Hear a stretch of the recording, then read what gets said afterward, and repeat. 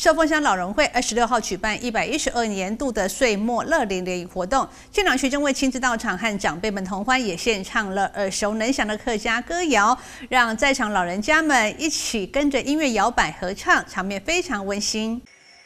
县长徐正伟抵达现场，展现亲和魅力，逐一与现场长辈们致意。他表示，花莲县长照覆盖率百分之九十九点九四，是全国最高。长照站、文件站、关怀据点等福气等等，一共有三百六十几个据点。全县内一百七十个村落，每个村至少有两个据点。感谢所有地方协会、社团人员在背后默默的支持县府举办活动以及长照业务。花莲县是一百七十七个村嘛，啊，但是我们有三百六十几个站，好，那是真的。第一个，我要谢谢所有的。因为这些站都要社区发展协会来提来乘坐，或者是我们很多的协会来做，来帮忙执行。所以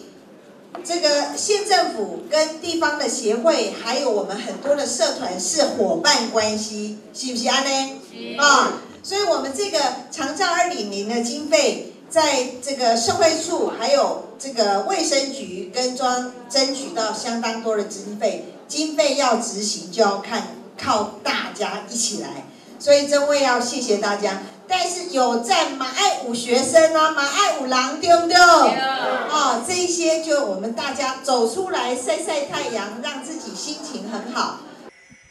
县长林平阳也向长者们致意，同时也说明今年度向地方争取的建设。那平阳啊，哈，呃，这次也在大会之中，那也强力的希望啊，哈。呃，我们在花东铁铁路的一个电气化、双轨电气化的一个改善之中，那这一次呃也感谢副坤级委员，呃争取一百七十亿的这个相关改善我们花东铁路的这个呃建设啊哈，从花莲市一直到吉安，那总共有七处的呃这个危险的这个呃铁轨呃。铁轨高架化了哈，那我们也期盼这次呃在改善之中，也能够将我们寿丰乡，大家知道哈，我们寿丰乡的火车站